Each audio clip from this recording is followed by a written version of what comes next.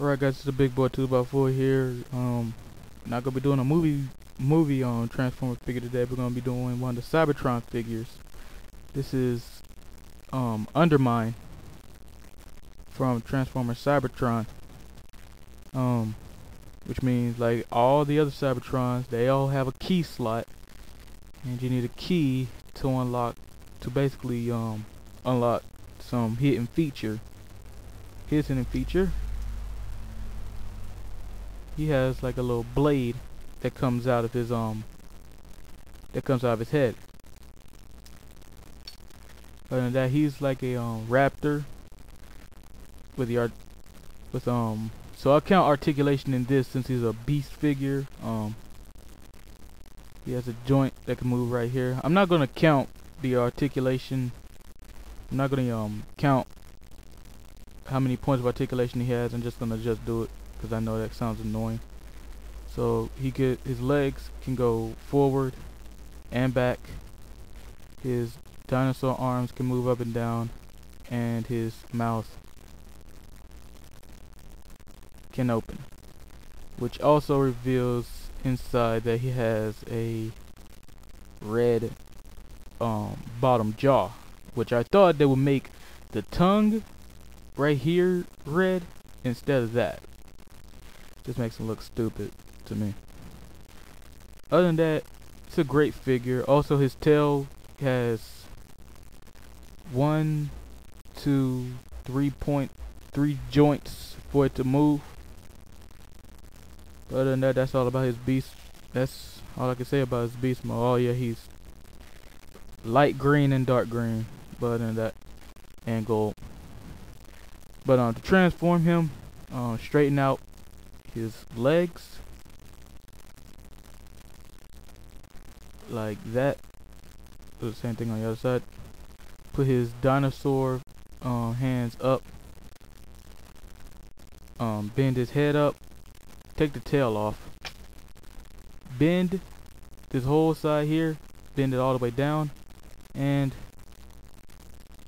bend his legs down. Um there's a crease. Split the crease open in his hand and fold it back. This reveals his head. Fold the whole arm up. That and bend these little fang things. Bend the, bend his hands down to about right there. So hold on.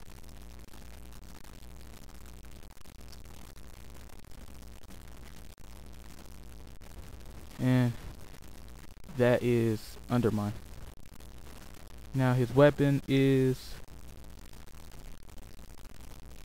a battle mace which can fit into the slots on his hands.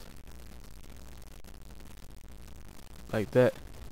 Also his um oh yeah got put this tab in so it's like that.